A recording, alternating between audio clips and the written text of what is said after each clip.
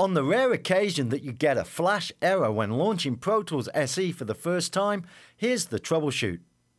When you launch Pro Tools SE at any time, you should be taken to the flash-based Quick Start menu immediately after the splash screen.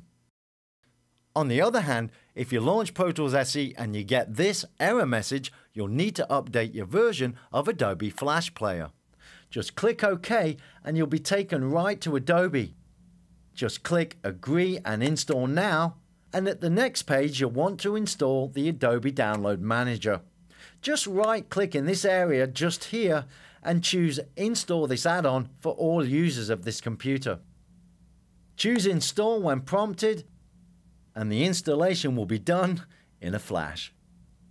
Nice. Now close the Download Manager, quit your internet browser and relaunch Pro Tools SE.